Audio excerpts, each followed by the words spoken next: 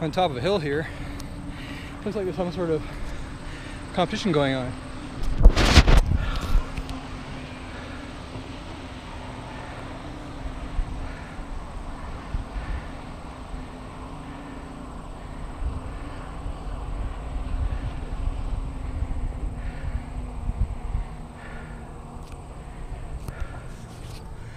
This is a high point, the beginning of the ride.